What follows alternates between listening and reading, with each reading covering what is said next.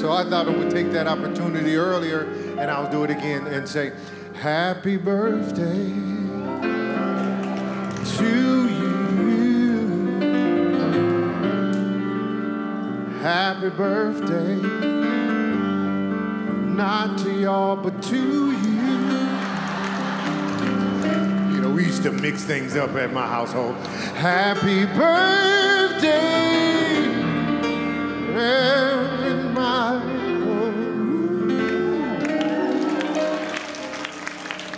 Celebrate it cause it's your birthday. Do what you want to do cause it's